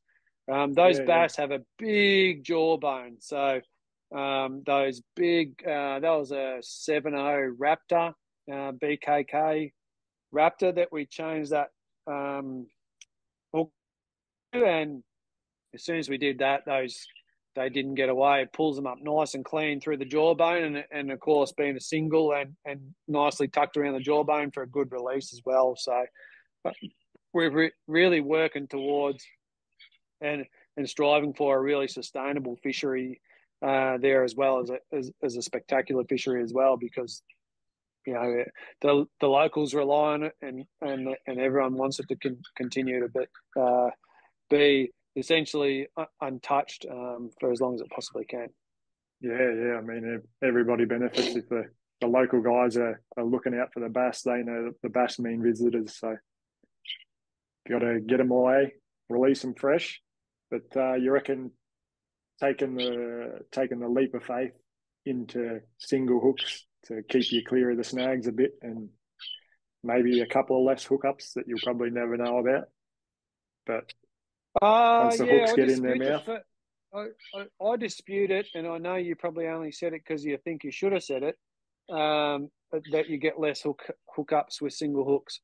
Um, if you the, the savvy um, social media angler will have screenshotted this image and realised that the the rear hook um, is attached so it points upwards. So it Yeah. essentially, when it's um, being dragged through a snag, is is entirely weedless, and and and so is the front treble. Uh, and sometimes that means you've got to put two split rings on. But if you can turn the turn the hook point up so that it rides flush or up against the belly of the lure rather than Yeah, pointing okay. downwards, can uh, exponentially uh, increase your um, effective lure meters in, troll or a cast, be, simply because you're not getting hooked up. Um, compared to a treble, which even if you have them set up the right way, where two might be running up the belly of the lure and one down, is always going to hook that snag that your belly's dragging over. Even with a lure like a Dr. Evil, which is a heavy nose down lure, uh, anything that's pointing down does tend to get um, those uh, hookups from the snags. So I, I, I for all of my lures, um, for particularly chasing big bass, um, I'll be chucking some big singles on, um, Yeah, okay. one or two split rings for sure. Because honest, uh, uh, I mean, another part of that's a whole, it's a whole different area um, of conversation. But a single hook has a much wider gape than a treble hook, right? I mean, we all look at a treble hook, a, a 2.0 or something, which you, which you would put on a duck Dr. Evil troll for a bass, and you go, oh yeah, heaps of pointy stuff, it'll hook them up. But if you if you take the equivalent weight um, and how a lure is going to respond to that hook, and you can put a 7.0 or 8.0 single hook on it, you're at least doubling the amount of gape between the hook shank and the and the point of the hook for the fish to actually get hooked. Which, I mean, I think that's the goal. Am I right? Um, that compared to a treble hook. So to to get hooked and stay hooked, and, and I mean, you can you can take the barbs off those things if you want. It makes no difference. So all those all those big sport fishing hooks have micro barbs on them anyway because they see the value in actually penetrating the hook and, getting a positive hookup um, compared to having a big fat point and a big barb that will not push through and then first jump or first turn rolls out. All the good hooks these days have micro barbs that and and absolute slender um, needle points that push through, get into the barb, and then the barb is is just there as a as a backup to poor angling or or you know mishaps or whatever. Yeah, yeah, falling, Um, falling over in the boat, that it's sort a, of stuff. It, it, it's a backstop. Yeah, falling over in the boat. um, that's that's So definitely you want to, you So want to, yeah, you want to quite comfortably be able to lose what a couple, three, three or four lures a day, just busting them off the snags or, or losing them to fish, and probably a good idea to take a, a set of bogers, or instead of unhooking your own fish, maybe let the guides do it. Because if you get a big treble or a single through your hand, you're in the middle of nowhere. yeah, yeah. I mean, as far as lures goes and what you might lose in a day, you're not going to lose too many lures. Uh, the guides know exactly the depth of the of the water, um, and they know which lure should go where. Um, they've got some good the the tackle backs that you slide down the, um, with the string and, and jiggle them off if you if you do happen to get a, a truly a snag. Um, so that I mean, getting towed up by a fish is a different story. Uh, people are. Ha- I mean, I'm happy to lose a to do doing that, um, and that might yeah two or three times a day. Um, but Yeah, with the right so setup, it probably should happen. Don't be shy with uh, the amount of lures you take. Expect to lose a few. You don't want to be stressing that you're No. down to your last Doctor Evil. You want to just take some, Don't some backups so you can happily happily lose a few. definitely don't get attached to your lures. Don't don't write "I love you" on the side of your lure with a permanent texture because you you- you're probably never going to realize, be able to realize that dream when the lure comes back. Um, I was but- just and, uh, and- I was just packing my tackle box yesterday, and I put in a big ass B fifty two, and I was like, oh, I caught a metery on that. No way am I taking that to PNG. put it Yeah. back on the shelf. That's that's never going. when you tie when you tie it on in New Guinea, um, give it a kiss and say goodbye. And it, and if you get it back and it comes back to your box at the end of the trip, that's good. Otherwise, it's been taken by something that deserves it more than you. Um, as far as bogas and all that sort of stuff goes, you you definitely need a, a set of bogies per per boat. Um, you, you need to bring all your own tackle for both Bensbach and Lake Murray trips. So um, bow grips or some some form of lip grip definitely is, is a must. There, there's landing nets there, um, but everything else after that is is up to you. Um, so uh, lip grips and and some good solid long nose pliers, so you don't get yep. your little um, fingies in in amongst the 40 pounder's mouth, which will put a hole straight through you without any doubt. you don't want to treble hooking your knuckle out there. Alrighty, let's keep it cranking.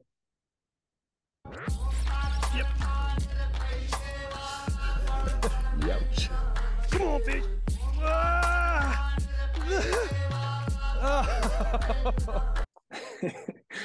So just a note, you see like you just getting absolutely smoked um, trolling along there.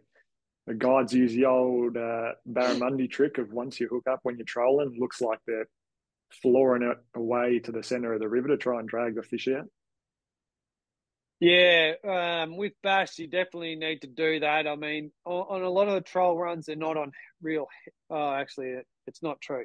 Some of them are heavy timber, some of them are old stumps.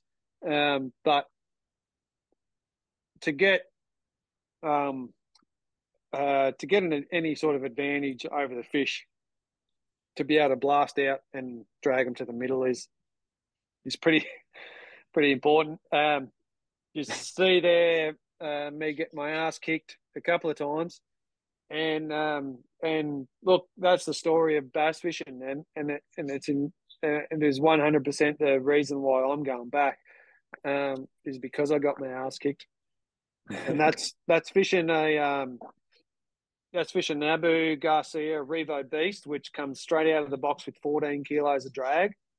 I had that thing done up as tight as I could pull it out, um, perhaps tighter, um, with 80 pound braid and 80 pound leader.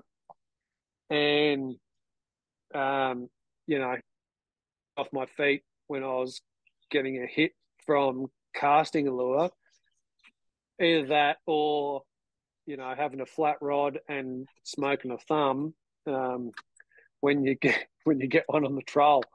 So, yeah, you just think of how can I get bigger and heavier, but there's really no way. Um, so you've just got to hope, hope for a bit of luck. Yeah, well, if you if you can't crank your drag up so much that you're going to snap eighty pound line, I mean, there's no reason to go any higher. There's no reason to run a 120 pound line if you're not even snapping 80 just with the drag. Yeah. No, that's right. Yeah, your whole system re- revolves around the reel that you've got, and and, and then to a, a slightly lesser extent the rod that you're swinging it off. So, um, you know, your your regular barra reels are going to be four, six kilos of drag. Your Curados, your Calais, um, your Tatulas, or your uh, even your nice high end Daiwa stuff, um, not pushing much over eight kilos.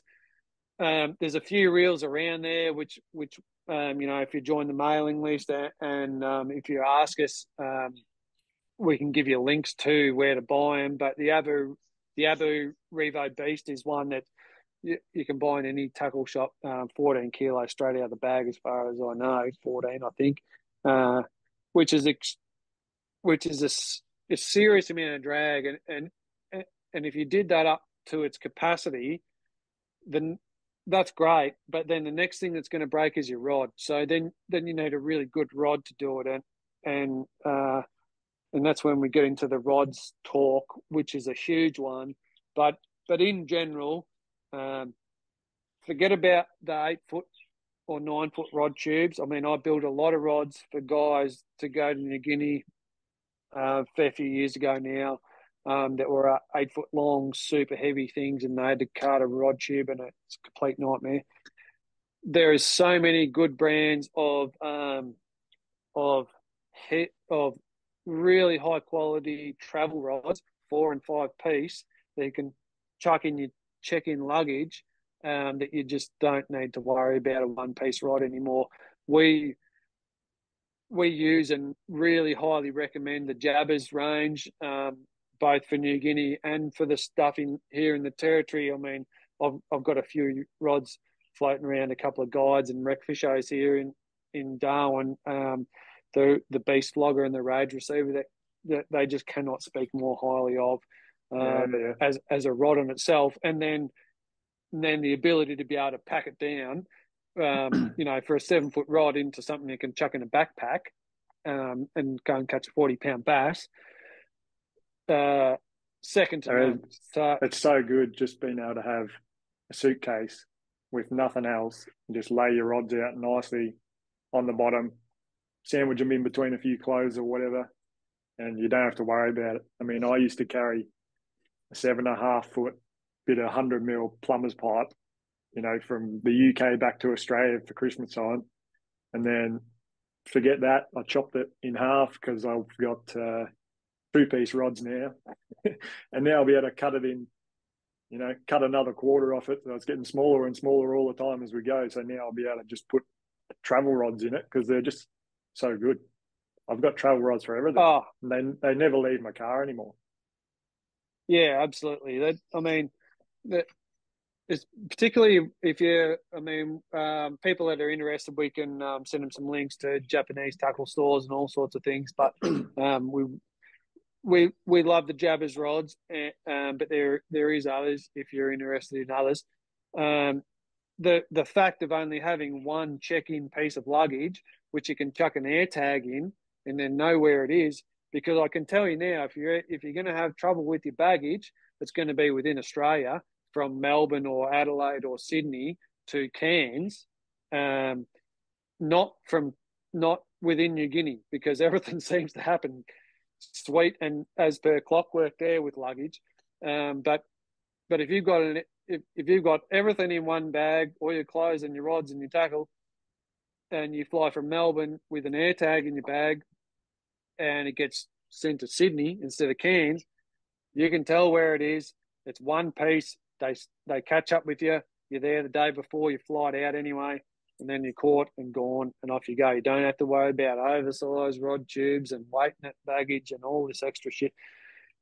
Uh, you'd be silly to take a full one piece rod traveling Yeah. fishing, Yeah, yeah. um, adventure fishing these days. So we're rattling off a fair bit about tackle, but um, once you sign up to take your trip to Lake Murray, you get a big info pack with all this sort of stuff about all the info about hook sizes and what lures you should be taking and how many, etc., etc., etc. So there's no need Yeah. to write down everything out of this out of this video and and try and get on Mo Tackle at the same time. So once you once you're all uh, booked in, you get all the secrets. Yeah, And it and, might- of course, It does seem pretty I, um, overwhelming and pretty scary because all people say is how crazy and uh, hard these bass fight. I just thought I'd put up a picture here of, of Margie, who went about four years ago or something with her late husband, Robert. And he's written us a testimonial. She was just could not believe the fish they were catching over there. And like she said herself, she's a slightly, slightly built woman and she's just rebooked. She's going back this year, I think mid this year, uh, with her son, Yeah. and she just cannot wait to get stuck into them again. So while we do talk about upgrading hooks and snapping rods and stuff with the uh, the guides looking after you, Margie says you absolutely no worries. Yeah, absolutely. And and a big part I know from uh, Margie's last trip and what she's keen to get involved with again on this trip is just um, learning more about the local culture and stuff of the people um, that that create um, these trips and, and that live in the surrounding villages and stuff. So yeah, I mean um, she's embraced the whole spectrum of what it's all about and that's what we hope everyone does and, and gets a gets a taste over the next few years because Lake Murray, I mean the the reality of all, all of the, the trips that we offer through angling adventures, but particularly these trips in Papua New Guinea, is that there is a limited season with limited spaces. So there'll there'll come a time, it'll probably be 2024, when um, the the trips are maxed out, and if you want to get in, uh, you're going to have to book at least 12, maybe two, 24 months in advance, um, because we want to keep the fishery as pristine as it can be and the experience as, as wholesome and as true as it can be to the local experience. Absolutely. It's more than just a fishing trip. All right, we'll keep this video going.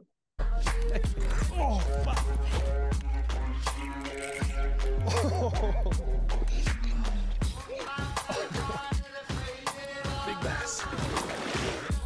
Woo! This is a very, very big angry black bass. The bass beer. Oh! It's hard to describe a black bass. Um, Just uh, raise your hand if you want if you want to cut in with anything there, Glenn. But look like you guys were um, casting at uh, what sunken timber there. You and Nick off the front of the boat. Yeah, those um those shots. You, I mean, you can tell when we're casting, when we're trolling. Um, the when we're casting is uh, you can you can see the trees there. It's actually a tree that we get here in um, in Darwin as well, particularly down the Daly River.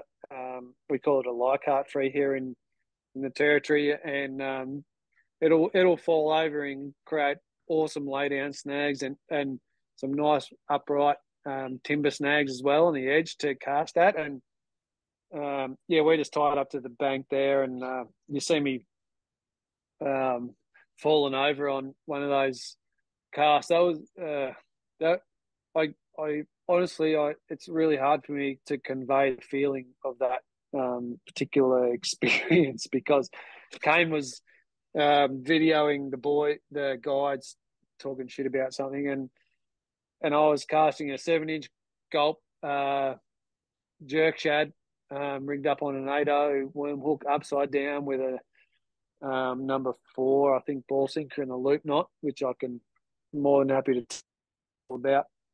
Uh, lifting and dropping it through the snags um, in an area that uh, we s- suspected that the fish had gone a bit quiet on because we we trolled over it a few times and hadn't had um, any any reaction for a little while, and uh, and uh, standing on the front of the tinny seat on the there's a they're a 4.8 meter. It's actually boat built in Brisbane. It's a motor, and um, and got pulled clean off my feet uh, on the strike. Uh, never forget it, and I uh, um, entirely got my ass kicked and and got up and just went holy. Uh, it, it was like you, um, being my bigger little brother, went came up straight behind me and pushed me as hard as you could off the back off the tinny seat, and um, no, Deb didn't even get hooked up. Uh, just yeah, and, and was left shaking and sweating, and I mean sweating more than I already was, and um, just was like, holy shit, let's do that again. Um, the the benefit of, of, of, of you going back there, I, I miss out on this next trip because I'll actually be fishing here in the territory. But um, is that we'll have some good anchors um, in the boats, and you'll be able to anchor off that particular snag, um, the nutcracker, and um, and cast cast into it, and then on drag fish out into deeper water. Whereas when we were there, we were tying up to the bank and and um, Yeah. trying to pull fish essentially heavier, deeper into the snags. So um, odds were against us, but bloody hell, I'm so glad they were. yeah, heaps of fun. I mean, it's got to be said, you never see people using them, but those gulp lures are magical, especially for Barra. It is some sort of voodoo stuff that. Yeah, there's a lot of science behind gulper. If people are interested, they can contact me, and I've got a heap of links about um, of scent and how it affects um, recreational fishing results. Um, but definitely, um, the lutjanid fish, uh, being um, black bass, our golden snapper here in in the Northern Territory, mangrove jacks, and and stripies that we find out on the reef, they really respond well to scent and. Um, and in an enclosed system like Lake Murray, uh, if you're trying to get down deep in amongst the snags and get a reaction out of something, you can't always get a vibration or a sparkle or a whatever happen. So if you can get some scent happening uh, and and draw that fish from a meter or two away, um, that can be the difference between you getting your ass kicked and, and you not getting a bite. So I'm down with that. I'll, I'll keep it going. You will have to uh, put your hand up if you if you want me to stop it because I, I can't hear you once she's playing.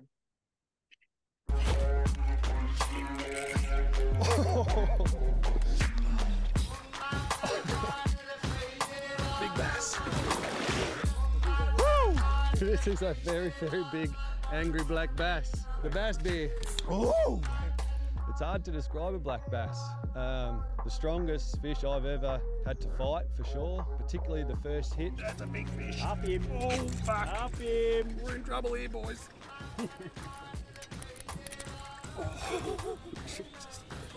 Can just see you trying to hang on while the boys are powering out into the middle of the river with the drag just like you know when the when your line's peeling off your bait caster from each side of the spool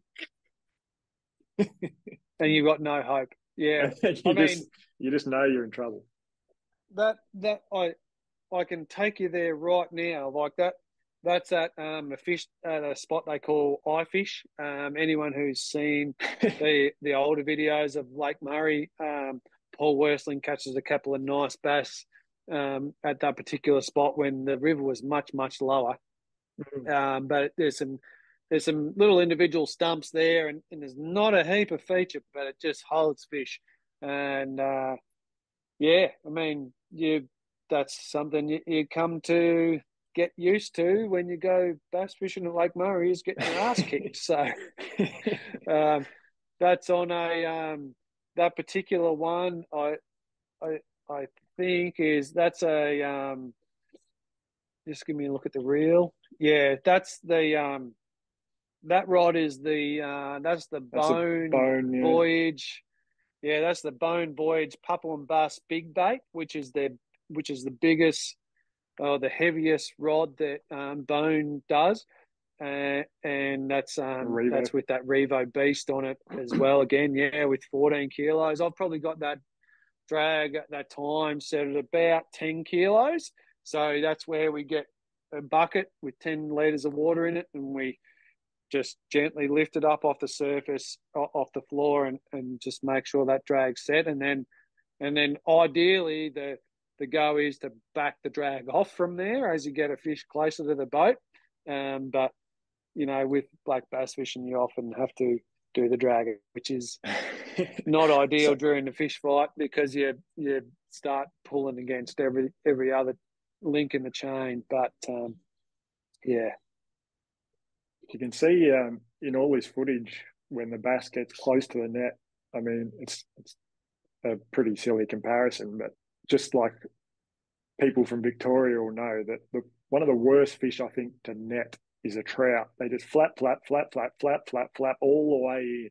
And but when you've got a bass that's thirty five pounds plus, like it looks like every one of them is just twisting and flailing and flapping like all the way to the net every time. Like there's no clean net shots in this whole video. Yeah, yeah, that's right. I mean, in uh, they are compared um, to a mangrove jack in other conversations, and and that's about where where the similarity ends is is at the net shot. Is that um, you know they they sort of get half beaten and and then they start slashing their heads around at the end, and um, I mean that's why we use big nets and and um, experienced guides so that we can get the fish to the net, but the bass, um, as far as their fight goes, the they really do fight like a mangrove jack or a peacock bass in that they'll come out and take a lure sort of on the way back in um, to a snag. Uh, and then the power of their lunges is sort of unexpected throughout a fight. And, and compared to, I mean, a mangrove jack is an amazing sport fish, um, but they do run out of steam, particularly once you crank a drag on them. But um, bass just don't. And, and you'll get a bass to the net, and you can see. I think there's a scene up a bit further where I'm holding a bass, and you can hear him just like chomping on the Boga grips and looking at Kane like as though if you let me go, I will eat you. And, and like just because you've got them in the net doesn't mean they're done type thing. Um, so yeah, uh, utmost respect to the fish. Yeah, I'll have to um, I'll have to edit that in. But yeah, you're holding the fish with the bogers, and just like occasionally a barra when you got a boger on it, you'll boof his mouth. You can hear the bass snap his mouth like a little mangrove jack Oh, snapping yeah. a popper off the surface, but he's chomping on huge Boga grips. And just goes. Yeah, he's jumping on sixty pound boga grips up, and his head pulled off um, by ten kilos of drag and dragged into a boat, and he still wants to fight. this this is the Mike Tyson of, um, of, of fishing.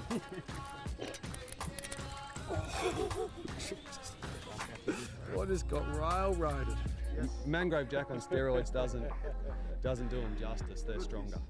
Oh, there's absolutely no question. I mean, it's a big fish. I don't think we got any still photos of this one, but look at that thing. I mean, like the color on that is crazy. You can see the photos of the, the smaller ones. They've got like a lot more stripy, aren't they? There's a couple of real pale Yeah. ones you guys caught, and then this real copper sort of one. Yeah, it's an interesting thing. I mean, it it and it it goes. It's entirely along with the whole theme of of Lake Murray Lodge and and um, Papuan black bass as a, as a sport fishing sp- target species. Is that no one knows anything about their colours. Uh, you know, Rod Harrison and and Dean Butler were there in the eighties, um, and and they caught smaller fish um, like one of the ones you see in, in one of the um, B rolls in the film, which have got the the stripes down them. Yep. And, and they called it for a um, like a juvenile fish or whatever. Um, but you you can see that those markings happen in in fish over eighty centimeters, and and at the same time you can get a he is really a, a s- a small one with um, when I say small, 50 centimeters, that's proper dark and red. Yeah, that one there. I mean, to me, that's characteristic. Oh, yeah, that's a that's a juvenile bass. But you can get them 80 centimeters that are that color, or you can get them that are that size and they're dark red or dark black. Uh, Mm. So, I mean, the reality is that that really nothing is known about these fish. Uh, there's never been a tagging program done on them. Um, there's never been any significant scientific studies done on them, uh, and it's something that you know uh, we we would love to be part of going forward, um, as long as we do it in the right ways. Um, because the, I mean, the species has a huge value to Yeah. to New Guinea. Uh, in in that it, it's enough, and it's a whole nother conversation. Is that it's not very far from Cape York or from Darwin to New Guinea, but we don't have bass here. And I almost every day I think, oh, Jesus, it'd be awesome to put bass in Manton Dam or Darwin Harbour. Um, Corroboree. or Corroboree Billabong, and I'm sure they'll do so well. But there is a reason over 50 million years that they're not here. So um, I guess we'll just leave it at that at the moment. But yeah, I mean, we don't know. We don't know the different colours. Whether you know, we took um, same thing in billfish. You know, they come up lit up and then they darken up. Same thing in blue bone. They darken up. Snapper darken up. Barra darken up. Um, is it a feeding thing? Is it excitement? Is it age? Is it whatever? We don't. No one knows, um, and anyone can say whatever they want, um, but no one actually knows because no studies have been have been done. But Look at either this. way, uh, they look bloody cool, and um, and I'm keen to learn more. I like these. Um, some of them have got this war paint sort of stripe coming back from their eyeball. That's pretty cool. Oh, spectacular fish! Yeah, that, that Yeah, bigger and one's got it too. Little stripe there back in the all- eye. Yeah, back from the eye, back to back to the sort of what would be the ear, and and they always are looking at you like I will chew you up. Always. Why these things would tow you up into any snag, that the fight of that fish was extraordinary. Man, look at the shoulders on that thing. It looks like it's about to burst out of its skin. And the thickness of the tail wrist, like just an absolute chunk, eh? Yeah, that's a scary fish, no matter which way you look at it.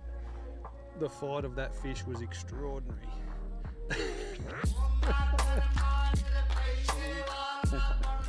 what are you doing to me, brother? Here we go.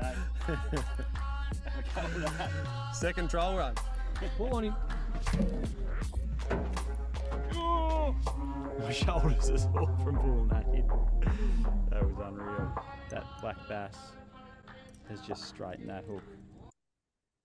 There's Nick with his spray jacket on after copping uh, a bit of rain for the day. You're saying what rains every day, so just get ready for it. Yeah, yeah, it does. It pretty well, even through the through the middle of the year, you you're going to expect to get wet. So you you really want to take a um, take a spray jacket if you if you care about getting wet. Um, for me, I I don't bother because it's it's a nice refreshing shower. Um, we get talking about those hooks. Yeah, that's a the the one on his little finger owner ST sixty six. That's the standard scorpion hook, um, and then the uh, BKK Raptor at the front. Sort of um, change them out as they got bent was was the plan on that lure, but perhaps not the best plan. I, No. I'd recommend changing them all out before you tie the lure on. So a lot of the spots you were trolling, you're talking like 20 foot plus, five meter plus divers. Yeah, the trolling spots. Uh, it depends on the time of year. Early in the year, deeper. Middle of the year, not so deep, and and then of course, um, once it starts raining, the build up a little bit deeper again. But uh, you can, yeah, the those one twenty five mil scorpions. That they're a five and an eight meter, so it's good to have a couple of them. Um, they definitely don't go that deep, regardless. Uh, well, maybe they do in testing, but not when you're dragging them on 80 pound leader and 80 pound braid. The, the, um, the force of the line just won't let them go that deep. So they might go about six meters at that time. And, uh, and that's pretty much the, the sweet spot for some of those deeper trolling spots. Um, but the, yeah, I mean, the, the casting areas are, they range between one and four meters. Um, Yeah. So you want well, a, you want a good range. you need a good range, and, and we've got a quite a comprehensive tackle sheet there, and and, and of course, if you really want to um, nut, nut out some fine details, just give me a ring. Yeah. So obviously with it raining every day, when you jump on the boat in the morning, you just want what a couple of tackle trays and then some sort of waterproof bag to keep maybe your phone or your camera in, and then maybe a dry, small dry towel or something to, you know, wipe your sunnies or something along those lines. You wouldn't need too much. The boys have got all your lunch and everything packed and your beer cold. Yeah, absolutely. All your lunch and um, drinks and everything is packed and stuff. But um, as far as tackle goes, it's actually a good conversation because uh, you, you'll find um, tackle trays, uh, as we have in our boats um, with our journey, just take up way too much room um, and don't store enough stuff. So, um, as a traveling angler now, um, going to Lake Murray, what you want to do is get yourself some either soft bags you can get on um, on eBay or wherever and get some um, brand name ones. Megabass do a really good one.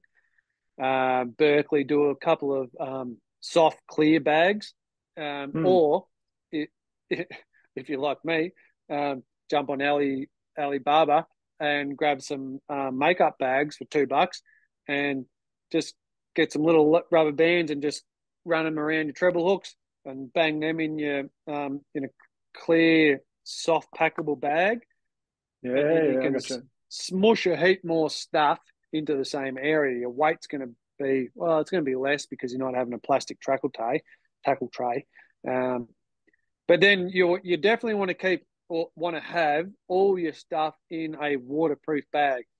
A roll top bag is good because they tend to be quite big and um, you know like a sack, and you can just shove stuff in them and roll them. And when there's a shower, um, I've got both. I've got the roll top and, and then I've got like the Ziploc type um, pull tag ones. Um, as far as tackle goes, I like to have the the roll top with all my soft bags, um, with everything I don't want to get wet, hooks, trebles, um, camera gear, whatever it might be, phones, and just shove it in and just roll, roll, roll, clip, and and then it's done. Because you you almost you're, you're definitely guaranteed to get wet at least once a trip, almost every day, Yeah. um, throughout the year. So just be prepared. You don't want to be scrounging uh, garbage bags. Yeah, you're of the- get- out of the uh, out of the lodge. You want to have yeah, a nice uh, watertight bag while you're on the boat. Hot tip: And they don't have to be expensive either. You can get them at BCF and um, Anaconda for thirty or forty bucks to, to hold all your lures and your phone and everything too. So um, it, it's just something to keep in mind. Okay, No problem at all. Six or eight kilos of drag on that, reckon I. 80 pound braid and 80 pound leader. There's no messing around in New Guinea. There's a real, um, real grand slam of Lake Murray if you want to try them all, but catching a lot of barramundi as well. And I think it's been the general consensus with our group. We all uh, couldn't believe how strong they fight. I guess they're hanging out with the black bass a lot. This is the biggest barra I've caught in I was just going to comment on how clean all the barra. are. I mean, it's pretty awesome going to another country and tracking down fish to catch, but then seeing your old mate barra over there at the same time. That's pretty sweet. You might even feel a, Yeah. warm, fuzzy feeling when you catch a caddy. Well, yeah, actually, we did. I don't think we caught any caddies on both of my trips, but they're definitely there um, because local boys eat them. Uh, they catch them on bait. They use dead bait for them. But yeah, I mean the barra, um, and it go it goes to show it proves the whole concept of um uh, of the water quality that barra in um is is what dictates their color. Um, you know these fish that fish there that you can see has has I could almost guarantee has never seen salty water because he's 150 kilometres upstream of, of the mouth of the river in a in a 160,000 acre lake. So, um, but Well, It- if he's but he's if he's beautiful in Lake. Murray, if he's in Lake Murray, he's probably over a thousand k's from the sea. Exactly. So a, So- a swamp donkey, a swamp donkey his entire life, and he doesn't look like a, a golden corroboree billabong barra, does he? No, that's right, and and it, it's it's got nothing to do with the. Oh, oh I should. The the color of the fish has got nothing to do with the eating quality of the fish. Not that that's a issue at Lake Murray, because if you want to eat a fish, which you certainly can, uh, you're going to do it with the bass because the the black bass is like the red, it's like the red fin of the um of of. Uh, um, it's so good to eat, uh, and you know, over a fire or um, you know, wrapped up in some banana leaves with a bit of salt on it. Just tastes Yeah. just like redfin or flathead, like everyone's familiar with. So good. Um, but the barra, the the barra is is is um, part of the staple diet of the local guys, and uh, you know, a fish like that maybe a bit too big, but um, you know, 60, 70 centimeter fish. Um, we, you know, if there's a local, um, it's an interesting thing uh, because in Papua New Guinea, fishing is um, is women's work, so it's always the ladies that are out in the canoes doing the fishing. The men are off hunting, and uh, and um, so if there's any of the lady, local ladies um, out fishing nearby and we catch a barra that's a good eating size, um, you know, take always offer it to them. And so we um, should uh, we should get some ladies on the boat guide and then ask them where the spots are. Well, absolutely. I I mean, it's always a, a bit of a joke within the guides. They're like, why do why do we only get um, blokes come over here fishing because fishing's women's work? um, I mean, we've got we've got Marg and we've got a few other um, lady anglers coming from Australia for this season. But yeah, it's interesting how the different cultures see see different Yeah, yeah. roles. Yeah. Absolutely. All righty, we'll keep it going. Papua New Guinea, and it fought like a well over a metre fish from Australia. It's a big part of the trip, I think, is to is to catch some fish they're a bit familiar with as well. Barramundi fishing's been great. Barra and bass in the boat, so the bar's open. Oh, we're really excited to bring bring more and more people over here to experience the environment, uh, the culture, meet these guys, and the fishing is just a huge bonus on top of that adventure that you're doing. So. Look at the gut on that thing. I mean, they're always coming into the net and just twisting and writhing all the way in. Like, I think the guys have got new nets this year, don't they? But uh, still, they look like a handful. They do. They got yeah, they've got all new nets. That's one of the old spring nets there, um, which are great for moving around in the water and chasing fish, but perhaps not so good for uh, fish handling. But um, yeah, we've kitted all the boats out with um, that same big wide mouth uh, with net with the silicon silicon nets. Oh, um, cool, yeah. For all the guide boats for this year. Yeah, um, both at Lake Murray and Bensbach. Just look at the gut on that thing. Yeah, that's a that's an eighty plus centimeter bass. That one, and um, yeah, flopping in that's, uh, sideways. just- yeah, flopping in sideways. Great, great net shot and a little bit of luck involved there. Who who landed that one? Who caught that one? Uh, that'd be Dennis landing that um, Who hooked it? that fish, and and Kane, the cameraman, caught that. Oh, that's Kane's fish. Big, yeah, yeah. big fish. look at Kane caught that one. The It's way I see one. it, if you, you can come here and you can experience all that and you catch a few fish, then you know you've had a good trip. This is why you make the effort to come and travel to these remote places. the beautiful fish, probably the hardest fighting freshwater fish in the world. And to be able to do it with some really legendary guides that know the spots and can tell you all about the local culture and the way they live as well. It's a really special trip that we'll never forget and we'll be back again next year and I can't wait. Beautiful. What a way to wrap it up. You can just tell when you're talking about the prospect of going back and seeing the guides and catching the fish again. Unreal. Yeah. Oh, I mean, I, I mean, I think about that right now. Like, uh, and as we're doing this recording, one of the guides from Bensbach's um, calling me on WhatsApp, and and the the connection that we have with these guys, and um, and the locations, and the value it that has in in the landscape shouldn't be understated um, from a recreational fishing point of view, but but also from political and, just being good people point of view. Um, they're they're amazing people. They want to share their um, their land and their culture with all of us, and um, to be given the opportunity to go in there as the as the only operators that that can uh, do recreational fishing charters out of Lake Murray is a real privilege for uh, for us as angling adventures, and and we don't take that lightly. And um, and the the dozen or so trips that we do a year will re- will absolutely reflect uh, the value that we place on on, Mm. on that. Brilliant.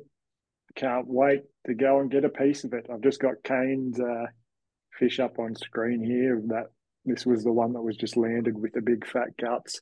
I've got um, I've got the little video of Kane actually fighting that fish here. I'll just get up.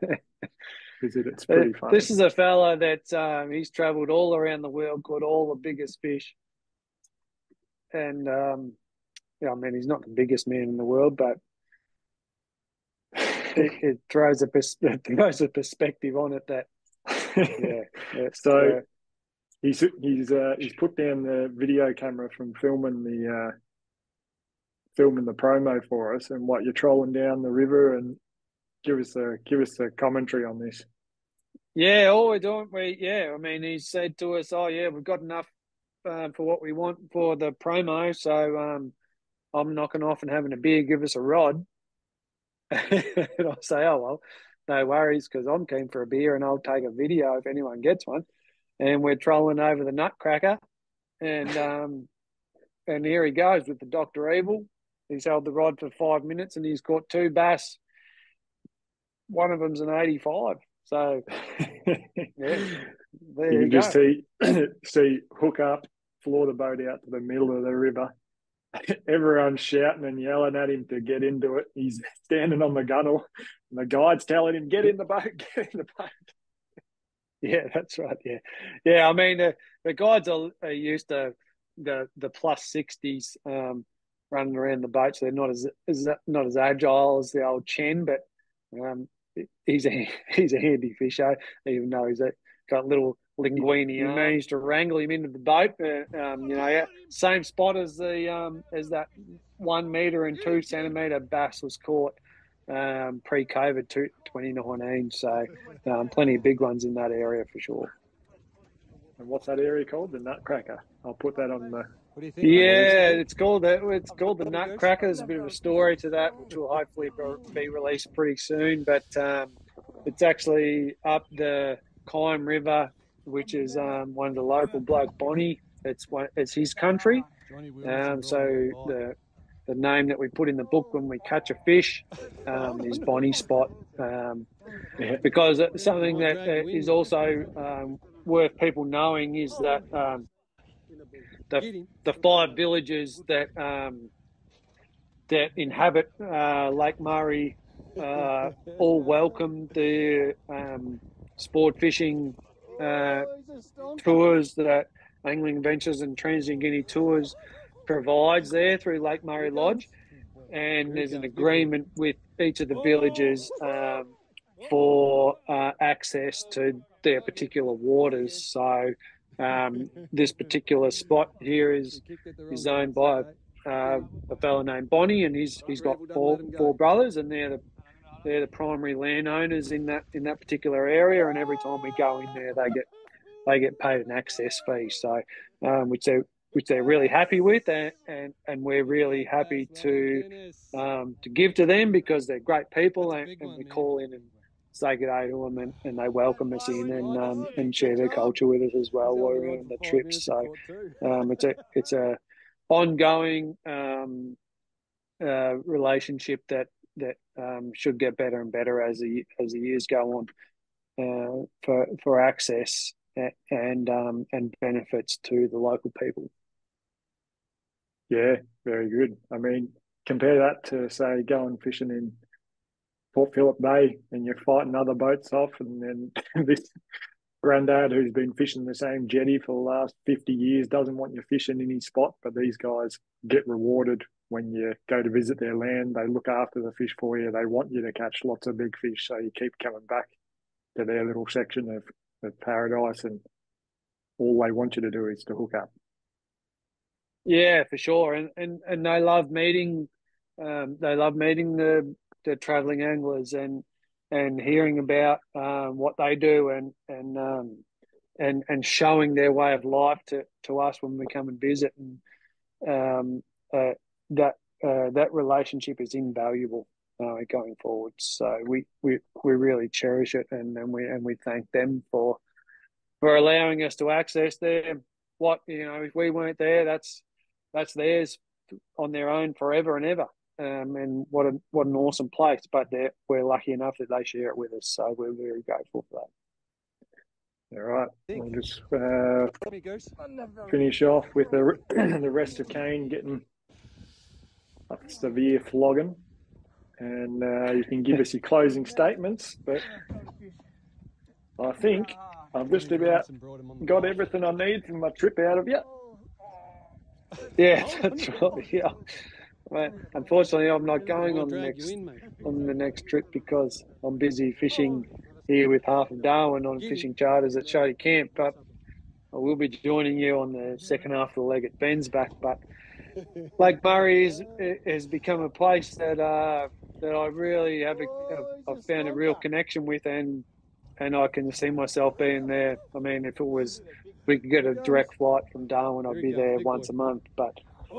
I'll be there three or four times a year, and um, and and working with the guides to uh, to get there to, to, to help facilitate them provide um, clients with the best experience they can, and um, and also just to um, to geek out on uh, on being a um, adventure fisherman myself and learn about dugout canoes and catching ca- cassowaries and um, spearfishing tilapia and and uh, all that sort of st- awesome stuff that those guys still do that you know we here don't don't do because you know we're too worried about the aircon settings or if the bed's made or not.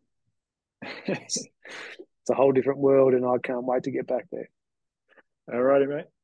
We'll finish it up there. And uh, if anyone's got any questions, just hit us up on the website or the Facebook Messenger or any of those things. But uh, I think that'll answer quite a few of the silly questions that I had and hopefully get people up to speed with what they can expect and what they can look forward to when they head to Lake Murray. So thanks very yeah, much, Point. Right. Thank, thank you, brother D man. And um, yeah, I mean, just, just to touch on that, like uh, we talk about silly questions because uh, you and I have both been in fishing industry, uh, rec fishing guided industry for a long time, and we sort of answer the same questions all the time. But they're, um, they're don't be shy to you know reach out um, via email, text message, or give me a call. Um, you know, my number's everywhere, um, and I'm keen to talk about fishing with anyone who wants to do it, um, particularly when it relates to Papua New Guinea and Lake Murray, um, because it's something that I'm going to spend a lot more time on over the next 30 years. What am I, 40 now? 30, 40 years. Yeah, so it's going to be good, and we're going to get it really cranking. We're going to learn all about the fish. We're going to protect the fish. We're going to protect the culture, and, and we're going to enhance everyone's lifestyle and, and experiences there as well. So, yeah, well done. It's a great idea what you've done here, pulling the uh, the little promo video apart, and I hope everyone got something out of it. Yeah, hopefully we'll be able to do one uh, once me, Dad, and Al get back from Bensbach. Hopefully we get lots of footage there, and then uh, we can do something similar to answer any questions about Bensbach. So, yeah, we'll yeah that's going. right. Yeah, yeah. Good and stuff. Um, All right. Have a good night. We'll catch you next time. Good on you, mate. Thank you.